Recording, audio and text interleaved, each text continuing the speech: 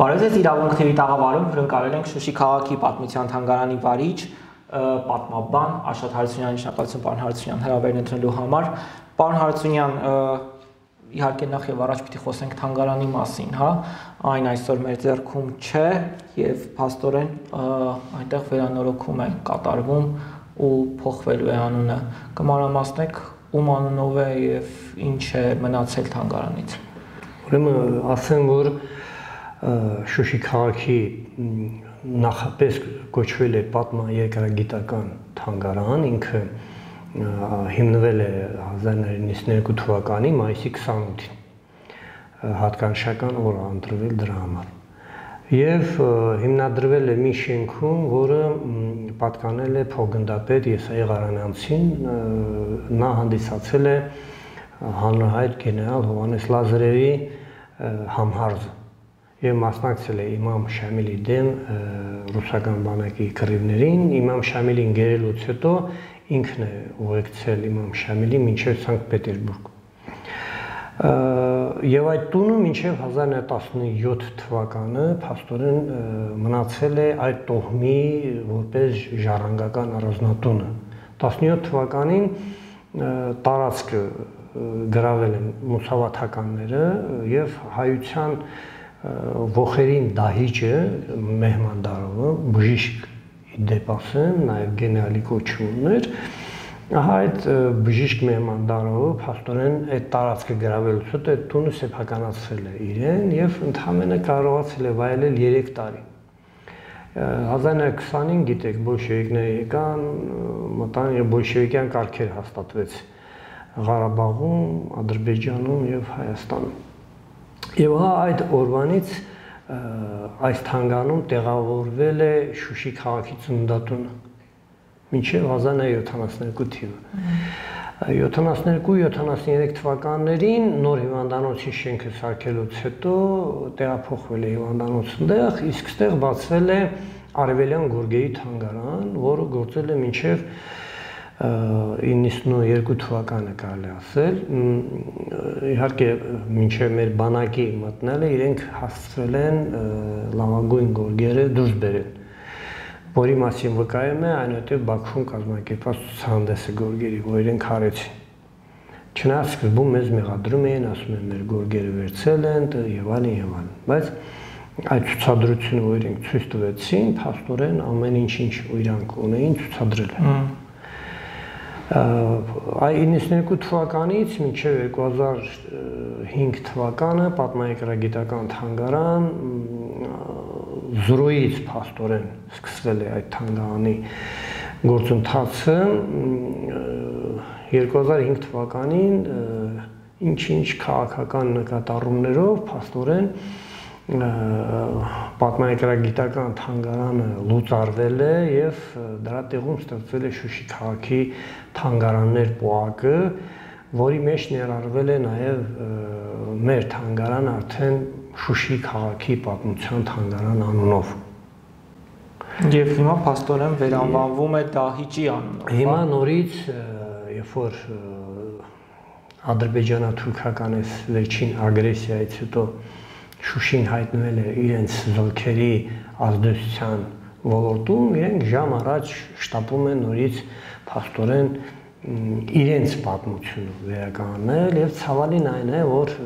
բարեկամությունից խոսելով, հա, այսօր իրենք ասում են հայ ադրբեջանական բարեկամություն հնարավոր է, կարելի է ճանապարհները բացել եւ այլն եւ այլն, բայց առաջին իսկ քայլը վկայում է թե իրենք ինչ բարեկամություն են պատրաստում նորից այդ շենքը վերանվանվում է գեներալ Մեհմանդարովի անունով։ Հուսանք, որ գոնե իրենք այնքան բանականություն կունենան, որ այն ամեն ինչ մենք թողել ենք այդ թանգարանում կցուցադրվի աշխարհի ժողովուրդներին եւ գուցե նաեւ կհարստացվի կարծում եմ կարծում եմ պատմությունը կեղծելով է ներկայացվելու այդ դա հասկանալի է դա տարածքը եթե գրավում է,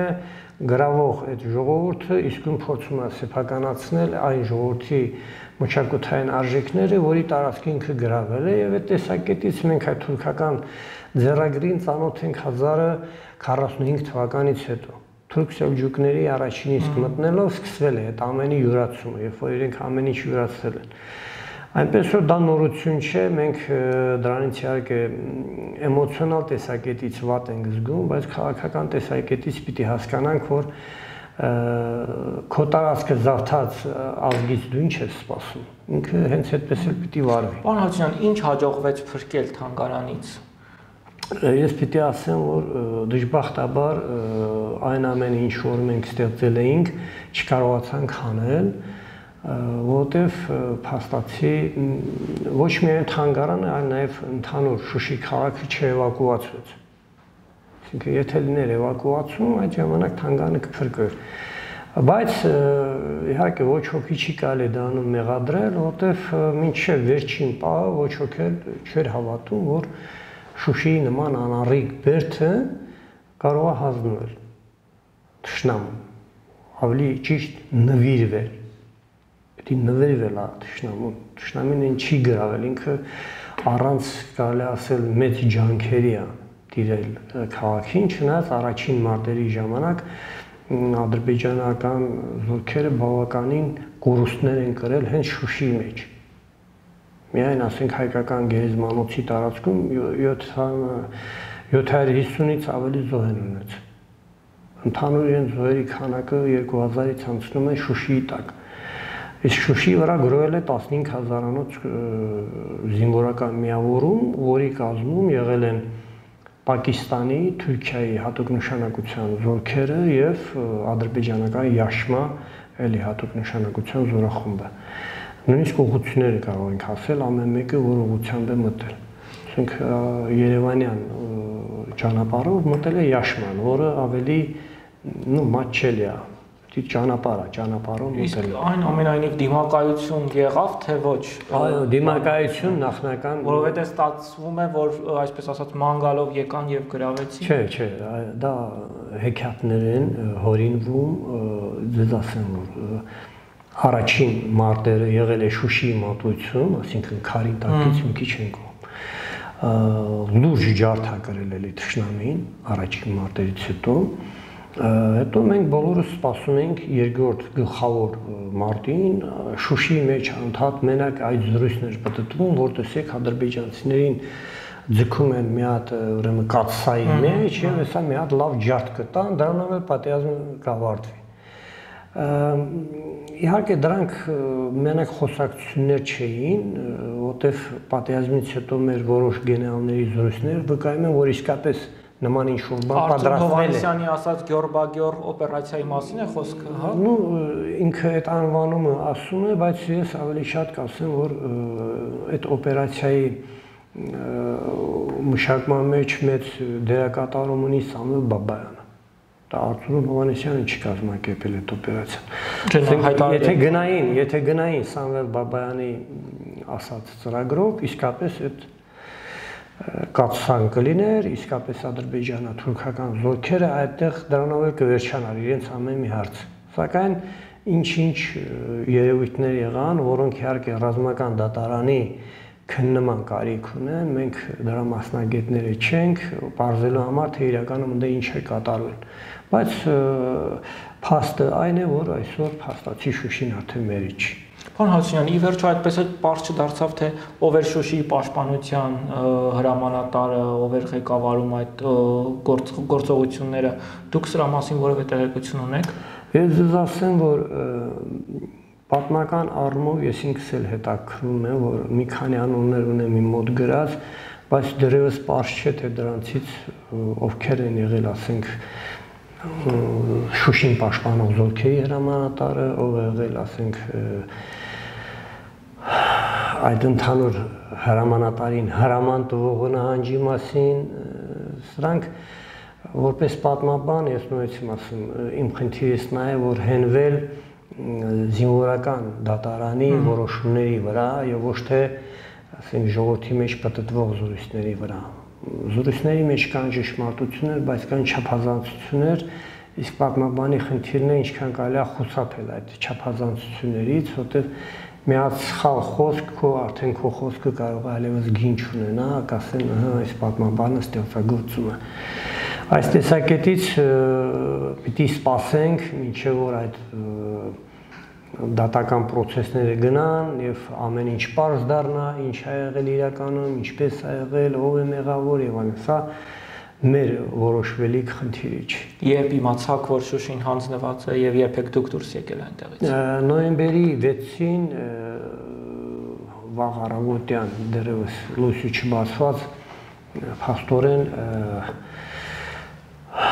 սկսվեց Շուշիից մաս-մաս մնացած բնակչության եւ զորամիավորումների դուրս բերումը Շուշիից շատ բարդ բան է, ես չեմ ամեն անգամ հիշելուց ես ինձ շատ ծանր եմ տանում դա սրտինոպաներ ալինում մարդ որ առաջին պատերազմի ժամանակ միայն վայելել է հաղթանակներ դժվար է խոսել պարտության մասին բայց կարծում եմ թե մենք ուժ ու էներգիա պիտի գտնենք ասելու որ այո պարտվել ենք ինչի համար որտեղ եթե դու չես ընդունում քո պարտությունը ուրեմն դու չես ուզում նորից հաղթ ռևանշի դիմել բոքսը բոքսա բոքսի մեջ ոնց այնում պարտված մարտիկը 3-4 անգամ իրեն հաղթանակածին հravirում է ռևանշերի եւ եւ վերջո ռևանշներից մեկում ինքը հաղթում է, որտեղ ինքը տրամադրված է հաղթելու, ինքը տրամադրված է ռևանշի։ Այս տեսակետից ես հաստատ համոզված եմ, որ այսօր հայ ազգի մեջ աստիճանական գլուխ է բարձրացնում հենց ռևանշիզմի այդ տրամադրությունը, Իհարկե պետք չէ գլխապտույտ ունենալ այդ ամենից, պետք է դրան լուրջ պատրաստվել պետական մակարդակով, դա 1-2 օրվա խնդիր չի, դա շատ լուրջ աշխատանք է։ Պետք է լրջորեն պատրաստվել, չթերագնահատել ճշնամուն, իմանալ, որ ինքը ինչ ուժեր ունի, պիտի հասկանանք, որ այս պատերազմը ցույց տվեց, որ մենք չենք կռվելու միայն Ադրբեջանի դեմ։ Սա ծայրահեղ իսլամա իսլամիզմով ղեկավարվող պետությունների դաշինքի արշավեր եւ սա Ղարաբաղի դեմ չէր այս հարված այս հարվածը հարված էր ընդհանուր հայ ժողովրդին սա նպատակ ուներ թևաթափ անել հայությանը իրենք ձեզ ասեմ որ նոյեմբերի 10-ից հետո դուք տեսնեիք Ադրբեջանում ինչ է կատարում չէ տոնակատարությունները բանը ու այս վերջին ժամանակաշրջանում նկատելի է այդ տրամադրությունների անց մոտ գնում է դեպի անկում, իրենք գիտակցում են, որ փաստորեն իրենք կատարել են պատմական մի մեծ սխալ, հարձակվել են ու ոչ միայն ասենք անվտանգության գոտի են մցել են զորքը, այլև զավթել են Լեռնային Ղարաբաղի Հանրապետության ես նկատի ունեմ 91 թվականի սեպտեմբերի 2-ին հրճակված Լեռնային Ղարաբաղի Հանրապետության տարածքից իրենք տարածք են գրավել։ Զավթել են եւ փորձում են ասել, որ վերջ պատերազմը վերջացել է։ Վերջացել է պատերազմի որոշակի փուլ չի վերջացել պատերազմը։ Բայց իրենք շատ ակտիվ վերանորոգումներ սկսեցին, նոր ինչ որ հյուրանոցներ բացել եւ այլն եւ այլն հա, Շուշիում։ Հիմա տեսեք ինչ է կատարում։ Հիմա տեսեք ինչ է կատարում Շուշիում։ Այդ սկզբնական փուլում այդպես կատարվեց։ Հետո տեսեք Շուշիում Էրդողանի եւ Ալիևի միջև ստորագրվեց ինչ որ պայմանագիր։ Եվ այդ պայմանագրից հետո Ալիևը օրենք է ընդունում Շուշին քաղաք արգելոց հայտարարելու մասին եւ ներկայացում է բոլորովին նոր ծրագիր։ Փաստացի բարձում է, որ Ալիևը արգելում է ոչ միայն Շուշիի հայ բնակչության վերադարձը Շուշի, ինքը արգելում է նաև Շուշիի, Շուշիի ադրբեջանական բնակչության վերադարձը։ Իսկ դուք գիտեք, որ մենք բանակցությունների սեղանի շուրջ երբևէ չենք ժխտել, որ ադրբեջանցի բնակչությունը կարող է վերադառնալ Շուշի։ Ընդհակառակը մենք ասել ենք, եթե իրանք ընդունեն, որ Արցախի քաղաքացիներ են, մենք պատրաստ ենք իրենց տրամադրել այդ քաղաքը բնակության համար։ Իսկ հիմա պարզում է, որ Ադրբեջանը նաև արգելում է իր բնակչության գալը։ Սա արդեն մոտորելու տեղիք է տալիս ասել է թե Շուշին իրենք ավելի շատ ուզում են վերածել ռազմական բազայի մեկ եւ Ալիևների ընտանիքի հյուրանոցային տուրիստական ծրագրերի խնդիրը մեջտեղ գալիս, որի մշակումը անգլիական ինչ որ կամպանիա է անում, ես այդ անվանումը չեմ հիշել ինչպես է ինչ։ Պարոն Հացունյան, այն օրերին, երբ այս արհավիրքը տեղի էր ունենում, հա, Արցախում, Երևանում դիսկուրսի մեջ հայտնվեց այն թեզը, թե ի վերջո Շուշին հայկական է, թե ոչ։ Առնվազն ձեր թանգարանի գոյությունը եւ այն ամենը, ինչ այնտեղ կա, փաստում է այն, որ Շուշին վերջո հայկական է եւ սա առնվազն քննարկման ենթարկա չէ։ Ճիշտ ասած, Երևանում այդ տրամադրությունների բորբոքման փորձը, որ կատարվեց, ինչ-ինչ իշխանական մարմինների կողմից դա խոսում է հենց այդ թեզը բաց թողողի անգարագիտության մասին պատմական փաստերին չտիրապետելու մասին է խոսում Այսինքն մարդը, եթե ասում է դժգույն քաղաք կամ Շուշին ադրբեջանական է, ինչ ասել ա դա ադրբեջանական է, ինքը չի տիրապետում, ինչպես է կայացել այդ քաղաքը, նույնիսկ ադրբեջանցիները իրենք էլ են սխալ գրում, իրենց կայքեջերում, երբ որ գրում են, որ Շուշի քաղաքի հիմնադիրն է Փանախանը Եթե նույնիսկ ընդունենք, որ Փանախանն է ինչ որ բան հիմնադրել, ապա պիտի գրեն Բերթը, ոչ թե քաղաք։ Որտեղ քաղաքի կարգավիճակ Շուշին ստացել է 1843 թվականին։ Սա է փաստը։ Այնուհետև կա բնակչության ստատիստիկ աղյուսակներ տարբեր թվականների, հարկավոր է դրանք նայել պարզապես եւ տեսնել, որ մահմեդական բնակչությունը ընդամենը 1800 26 թվականից առաջ մի քիչ ավել էր, բայց դա խոսքը չի գնում ադրբեջանցիների մասին։ Եթե նայեք Կովկասյան օրացույցին, այնտեղ հստակ երևում է, որ խոսքը գնում է պարսիկների, քրդերի, մահմեդական բնակչություն դա էր եւ հայերի մասին։ Ինչ վերաբերում է թուրք ադրբեջանցիների գալուն Շուշի, դա տեղի ունեցել 1805 թվականին Մինչ այդ Շուշիում թուրք բնակչություն չի եղել։ Վերցրեք, կարդացեք, ուրեմն այդ թվականների գեներալ Ցիցյանովի նամակները ամեն ինչ բարձ կդառնա, որ երբ որ ռուսները մոտեցան Գանձակին, Գանձակի խանը ռուսներից թույլտվություն խնդրեց թուրք բնակչությունը տեղափոխել Շուշի։ Այդ թուրք բնակչությունը այդ թվականից է տեղափոխվել Շուշի։ Եւ ինչպես է ինքը ի վերջո էթնիկ առավելության հասել 1920 թվականի մարտի 21-ից 23-ը իրականացված ցեղասպանության շնորհիվ, որին ակտիվ էլի աջակցել է թուրքական բանակը Նուրի Փաշայի գլխավորությամբ։ Փաստորեն Ադրբեջանի բանակը գեներալ Նովրուզովի գլխավորությամբ եւ թուրքական բանակը Նուրի Փաշայի գլխավորությամբ ընդհանուր քանակը 30 հազարանոց բանակ մտել է Շուշի եւ կոտորացի միջոցով հարցը լուծել։ Տեղի ունեցել էթնիկ բնակչության, որ տեղացի բնակչություն է, էթնիկ բնակչության ոչնչացում եւ էթնիկ տեսքի փոփոխություն։ Սա եթե մարդիկ ուզում են ինչ-որ բան ֆիքսել, ապա սա պիտի ֆիքսեն եւ աշխարհի ներկայացնեն իրականում ինչ է այս քաղաքի իրանից ներկայացնում։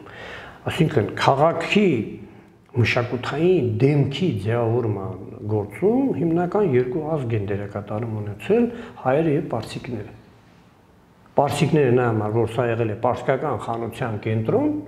հասկանալի է դա ամեն ինչ, չէ, մզգիտների հիմնադրում եւ այլն, հասկանալի է, սա պարսկական մշակութային ազդեցությունն է եւ մենք դա երբեք չենք շղթում, որտեղ հայն ու պարսիկը իրար հետ ավելի խաղաղ են գոյատևել։ Հատկապես Արցախում իրենք խաղաղ գոյատևել են։ Իսկ ինչ վերաբերում այս թուրք բնակչության գալուն, տեսեք 1705-ին իրենք եկան, 1745-ին եղավ առաջին ընթարումը հայ թուրքական։ Պարոն Հարությունյան, դուք այսօր դատակաձեռն չեք եկել եւ վերել եք ձեր գիրքը, հա, փաստեր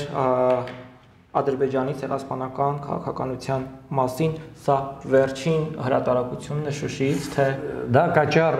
գիտական կենտրոնի կողմից հրատարակված, ասենք, բարբերական է, ոչ թե ինքը գիրք է, գրքի տեսքով է դա թողարկվում։ Իրա կազմողը եղել է պատմական գիտությունների տեխնացու դոկտոր Մհեր Հարությունյանը եւ այստեղ փաստագրական բազում նյութեր կան, որոնք հիմնավորում են, որ Ադրբեջանի ցեղասպանական քաղաքականությունը 1920 թվականից հետո չի դադարել։ Շարունակական այդ գործընթացը շարունակվել է խորհրդային տարիներին փաստերով, վավերագրական փաստաթղթերով ապացուցում են, որ տարբեր թվականների եղել է էթնիկ ճնշում, մարդկանց ստիպել են թողնել քաղաքը, հա, ասենք ես հիշում եմ այսպեսի մի բան, որ անձամբ ինձ հետ կատարվել է, երբ որ ես ուսանող էի դեռ 1985 թվականին ես ընդունվել եմ Ստեփանակերտի մանկավարժական ինստիտուտը եւ հենց այդ տարվա ամառ արդեն, այսինքն առաջի կուրսը ավարտած, ես հանդիպել եմ այն ժամանակ կոմերտ միության քարտուղար կար շրջանային այդ կառավարման մեջ, ես այդ քարտուղար, որ ադրբեջանցի է, ես այդ հանդիպել եմ, ասում հիմա եթե ես ավարտեմ, ինչ աշխատանք կտակ էլի Շուշիում, ինքը հարցրեց, դուք որ ինչ ֆակուլտետ եք սովորում, ես ասացի պատմություն։ Ինքը մի պահ ասենց ինձ նայեց, ասեց ուզում եք ազնվորեն ասեմ, ասիա, ասма, այս գլխից պատրաստվեք Հայաստանի Հանրապետություն տեղափոխվելու համար, որտեղ դուք պատմաբան եք, դուք վտանգավոր գիտելիքների եք դիապետում։ Այսպես բան էր։ Պարոն Հարությունյան, այս փաստերը թերևս ավելի կարևոր են արտաքին դստարանի համար, հա, մեր լոբինգի հետ կապված, հատկապես որ այն ռուսալեզու է, արդյոք նախատեսում եք մի նոր հրատարակություն եւս օրինակ, չգիտեմ, Ռուսաստանում կամ որևէ այլ երկրներում։ Ну, եթե մենք ռուսահայ համայնքում ունենանք բարերարներ, որոնք գիտակցեն, որ սա շատ կարևոր քարոշչական գործ է, հատկապես այս պատերազմից հետո կարևորություն է ստանում ադրբեջանցիների քարոշչական այդ կեղտոտ մեքենան, աշխարի բոլոր անկյունները լցվել է կեղծ ինֆորմացիայով եւ մարդիկ այդ կեղծ ինֆորմացիային հավատում են։ Մենք չունենք դրա դեմը դրած ինչ որ կարևորագույն բաներ, լավագույն դեպքում Facebook-յան էջերում է ինչ որ բաներ արվում։ Իսկ սա արդեն գիտականորեն պատմավավերագրական փաստերի վրա հենված աշխատություն է, առավել եւս որ ռուսերեն է, հենց այդ նպատակով էլ հրատարակվել է այս հատորը, ցանկալի է, ցանկալի է, որ սա բազմա հազար տիրաժով թողարկվի Մոսկվա, Սանկտ Պետերբուրգ տարածելու համար, որպեսզի այնտեղ ոչ մի համայնքը, այլ նաև ռուսական եւ մյուս համայնքները ճշգրիտ պատկերացում կազմեն, թե իրականում ինչ է կատարվել նույնիսկ սովետական տարիներին հայերի նկատմամբ էթնիկ հայկական տարածքում, որը բռնի Հայաստանից կտրվել եւ ինքնավարության կարգավիճակ է տրվել։ Տեսեք, առաջանցնելով ասեմ, որ դիվանագիտության մեջ հայ դիվանագիտությունը կաղում է։ Ինչու՞։ Երբ որ ստեղծում էր Արցախի, նու այն ժամանակ կոչվում էր Լեռնային Ղարաբաղի ինքնավար մարզ, Նախճիվանի ինքնավար հանրապետություն ինչքան էր մեր դիվանագիտությունը թույլ, որ չկարողացավ ասել այդ ինչ ինքնավարություն է, ում համար է ստեղծում այդ ինքնավարությունը, ինչու չի շեշտվում Լեռնային Ղարաբաղի հայերի ինքնավար մարզ, Նախճիվանի հայերի ինքնավար հանրապետություն։ Դրա համար այսօր մենք աշխարհին չենք կարողանում ասել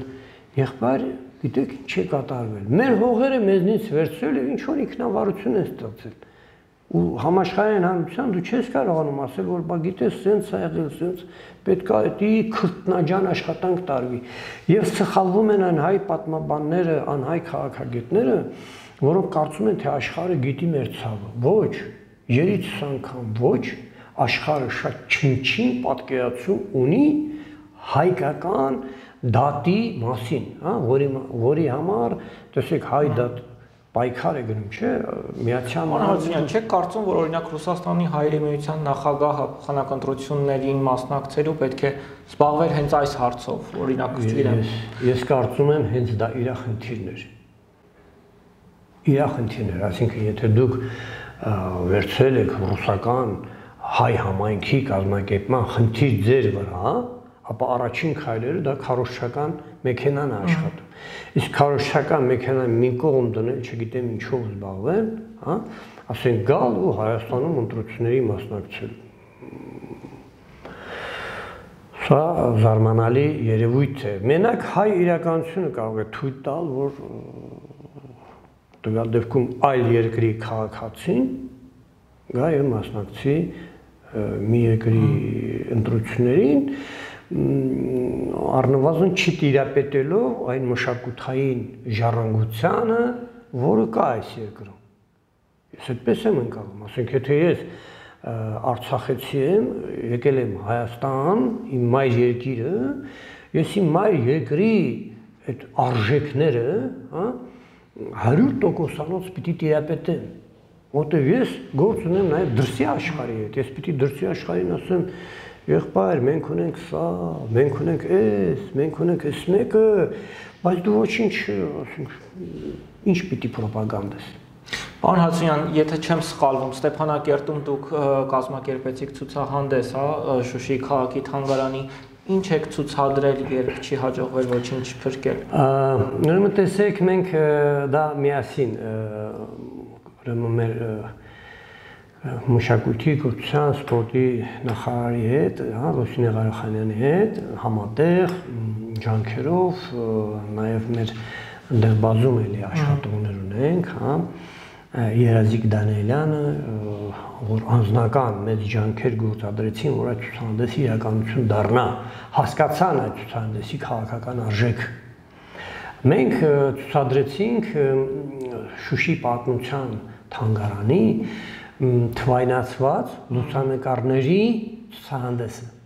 Սա շատ կարևոր էր։ 100-ից ավելի լուսանկար է ցուցադրվել։ Լուսանկարներ, որոնց հանրահայտ լուսանկարիչներն անգամ մոտիկանում են, ասում են, որտեղից է լուսանկարը։ Բայ ես չունեմ, կարամ դա վերցնեմ, ասում, բա դա դրա համար եմ ես արել։ Մարդիկ զարմանում են, որ ես Չեմ ասում, բա գիտեք, հեղինակային իրավունք կա, դու պիտի շեշտես, որ դա թանգարանին է, ասում միայն թե ռոպագանդեն, վերցնեն ռոպագանդեն էդի։ Պարոն Հացունյան, միթե հնարավոր չէր գոնե ամենակարևոր նմուշները փրկել, հա, այդ վերջին օրերին, երբ մի քանի օրվա ընթացքում է փաստորեն տեղի ունեցել դուրս հանումը, հա, Շուշիից։ Տեսեք, տեսեք։ Երբ որ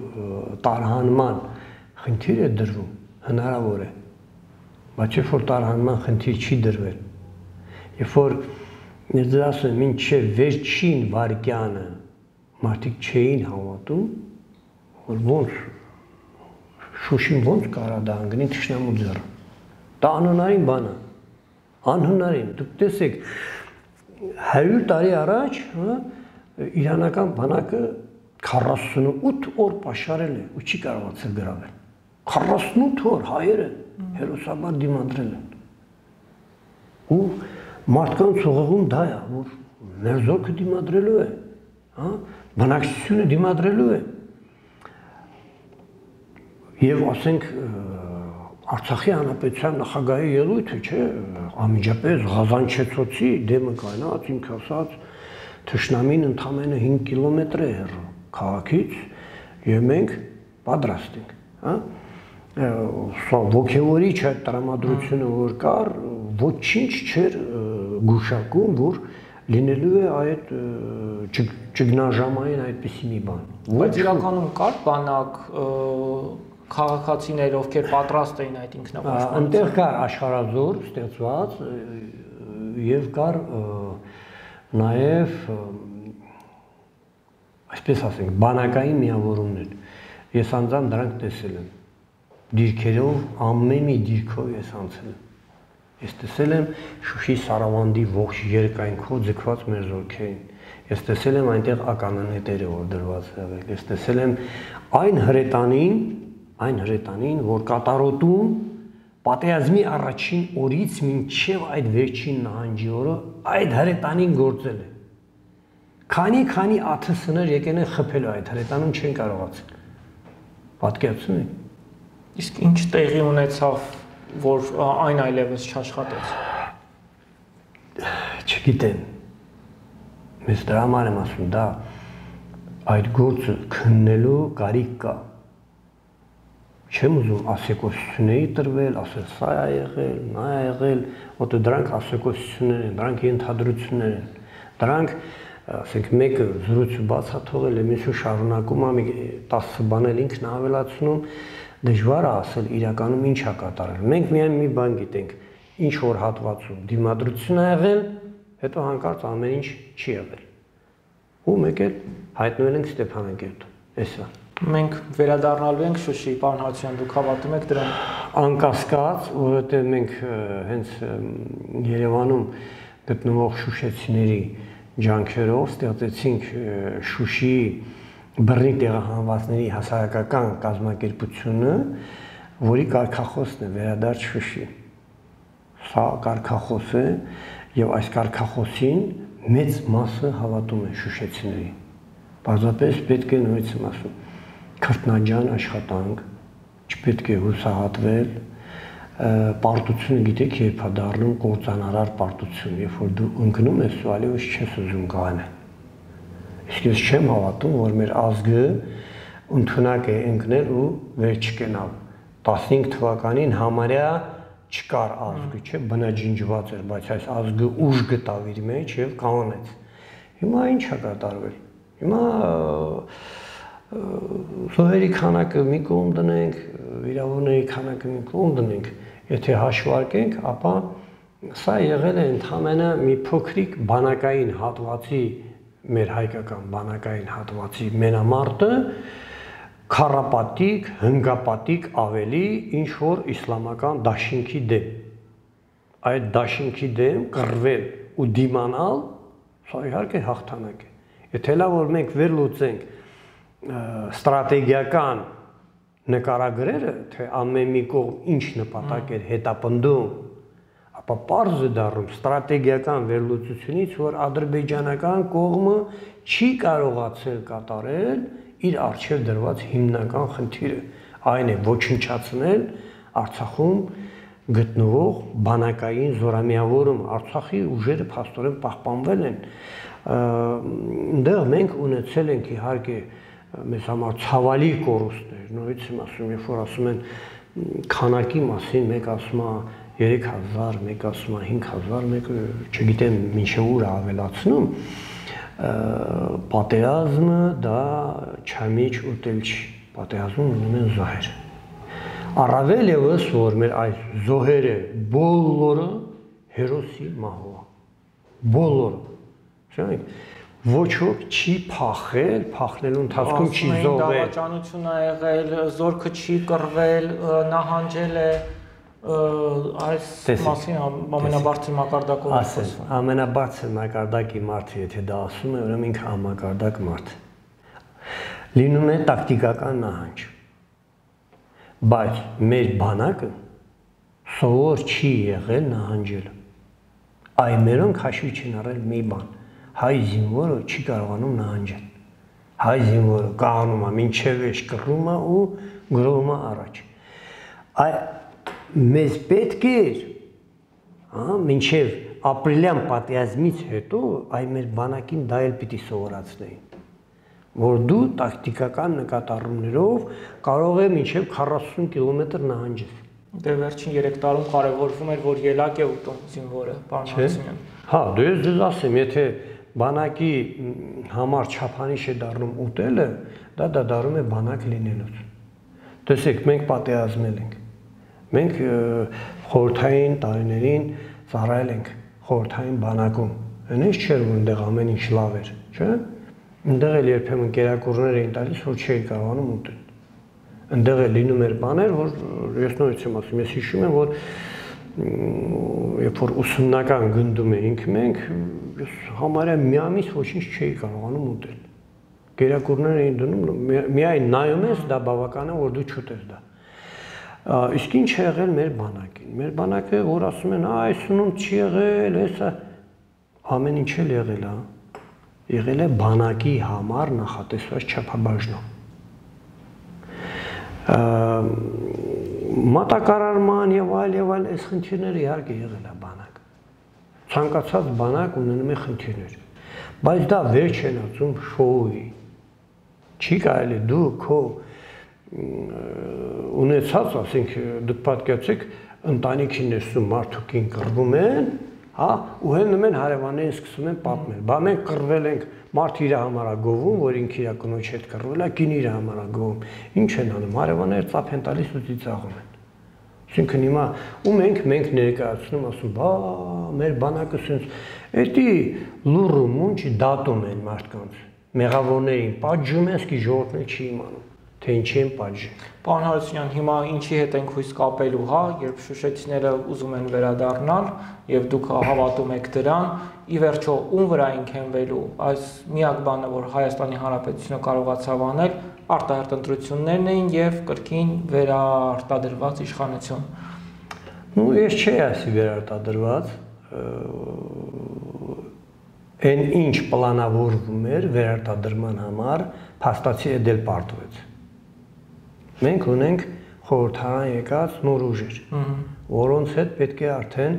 փորձեն հարցեր լուծել, չէ՞, ու այդ մարդիկ եկել են հարց լուծել, այդ մարդիկ հենց այնպես չեն եկել։ Այսինքն այս տեսակետից պետք է մենք մի քիչ լավատես լինենք։ Լավատես լինենք, էլի չասենք թե ա դե գիտես էլի չէ, նույն մարդիկ չեն։ Ես ընդհանրապես գիտեք ոնց է, ես միշտ ձգտում եմ լավատեսնել։ Ամենավատ վիճակում եմ ձգտում եմ լավատեսնել։ Ես հավատացած եմ, որ բոլոր ուժերը անկախ նրանից այս պարտված մարդիկ, որ իրանց մեղքով է եղել այս պարտությունը, իրենք իրենց հոգու խորքում տակ է գիտակցեն։ Մենք ինչքան էլ իրանց ասենք դու վատն ես, դու պարտ, չէ, ինքը պիտի դա գիտակցի, որ ինքը խնդիր ունի այդ վիճակից դուրս գալ, ապացուցելու, որ այ ելք չի եղել, ինքը գնացել է սրան, կամ ելք եղել է ինչ-ինչ բաներ, նույնիսկ ասում, սա ռազմական դատարանների խնդիր է։ Բայց այդ պատասխանները տարբեր ճամբարներում հայտնվեցին, հա, Օնիկ Կասպարյանը ընդդիմության հետ է հիմա, Դավիթ Տոնյանը եկեք եկեք դա թողնենք մի կողմ, որովհետև ձեր այն մյուս հարցերին դեռ չեմ պատասխանել։ Տեսեք, մենք ունենք մոտորապես 30%-ից ավելի շուշեցիներ Շուշի ընդհանուր բնակչությունից 4500 բնակչությունից մոտ 30-35% գտնում են Հայաստանի Հանրապետության տարածքում ու ծրված Հիմա ասենք ես քաղաքական լուծում եմ առաջարկել, մարդիկ էմոցիաների տակ չեն հասկանում, թե դու ինչ ես առաջարկում։ Ասում մարդիկ դրանք ծրված են։ Հնարավոր չէ իրանց կառավարեն հարկավոր է իրancs կենտրոնացնել մի բնակավայր։ Տվյալ դեպքում, որպեսի կերպարը չկորչի Շուշեցու, նպատակահարմանը Երևանից մի քիչ մոտիկ լինի։ Ինչի որ Երևանից հսկվի այդ process-ները։ Ասենք մի թաղամաս է սարքվում, մարդկանց ժամանակավոր բնակեցնում ես այդտեղ, այդտեղ իրանց մշակութային ծրագրերը, ըստ մեկ, մեկ սկսում ես իրականացնել, մարդկանց աշխատատեղ է ապահովում եւ անթահատ ռոպագանդվում է, որ տղերք, սա ժամանակավոր է։ Հիմա երբ որ ես մարդուն ասում եմ, հնարավոր չի, չեն ուզենա գնան, ասեմ, տեսեք, սովորենք մեր ճշնամուց։ Իրանք ո՞նց են արել։ 88-94 թվականի պատերազմ պարտվել են։ Իրանք ունեցել են բազում փախստականներ, չէ՞։ Ինչ են արել։ Իրենք բերել են իրենց փախստականը, իսկույն տներով ապահովել են։ Այդ 10-10 տարվա ընթացքում 100 հազարավոր փախստականների ապահովել են, բայց ամենա հետաքրականը որ դա պիտի մենք սովորենք իրենք սարքել են վրանային քաղաքներ այդ վրանային քաղաքներում ադրբեջանցի մի օր էլ չքնել ինքը պետական շենքերում տակուկ քնել է իր համար բայց հենց որ դրսից մարդիկ են եկել զանգել են հոպա հավաքվել են եւ Իրենք դրսի աշխարհին ցույց են տվել, տեսնում եք, մեր փախստականները ինչ վիճակում են, վրանայինա, անմարտկային պայմաններ է, ջուր չկա լողանալու եւ այլն եւ այլն եւ այլն։ Եվ մարդասիրական օգնություններ են ստացել։ 1 Երկրորդը մարդկանց ուղեղում դրսի տպել են, որ այս ամենը հայերի մեղքով է կատարվում։ Եվ ադրբեջանական դիվանագիտության մեծագույն հաղթանակը մենք այս պատերազմում հայտնվեցինք ագրեսորի կարգավիճակում։ Մեր վրա հարձակվել են, բայց մենք եք եղել ագրեսոր։ Չէ՞, ինչի արդյունք է սա։ Քարոշչական մեքենայի չաշխատելու արդյունք է։ Քարոշչական մեքենան պիտի աշխատի օր ու գիշեր։ Իսկ ես նույնպես եմ ասում, մենք կարևորը բաց ենք թողնում։ Ինչու մենք Հայաստանի կառավարությունը ասենք իր վրա է վերցնում, որ ես լուծելու եմ այդ հարցը։ Իսկ ով ասե որ դու լուծելու ես։ Դու պիտի համաշխարհային հանրությանը բերես այստեղ։ Դու պիտի այդ վրանային քաղաքները կառուցես համաշխարհային հանրության ասես ախպեր տես մեր ազգաբնակչության ինչ են արել քշել են բերել են այս ինչ վիճակ է բաց նրանք կուլտուրական Շուշիից են եկել, ես հիմա տեսեք ինչ փնթի վիճակ են ընկել, օգնեցեք, չէ՞։ Ու մարդիկ ֆինանսավորեն այդ գործը ու գալով տեսնելով ամեն անգամ երբ որ իրան գան մեզ վրաններում տեսնեն, իրենց մեջ բացի խղճահարությունից կարաշխանա քաղաքական մտածողություն կասեն, արա այ մարդ, այսքան հազար բնակի չէ, հա հասկանալի է, ադրբեջանցիք հարձակվել են, Սրանք թողել եկել են ստեղ։ Սա քաղաքականություն է եւ էմոցիա չի։ Էմոցիաները մեզ ահավոր խանգարում։ Քաղաքական կողմնորոշումներ անելու համար։ Հուսանք որ դասեր կքաղենք ի վերջո այն ամենից ինչ տեղի ունեցել։ Ես հավատում եմ, ես հավատում եմ մեր ազգին, ես հավատում եմ մեր հաղթանակին։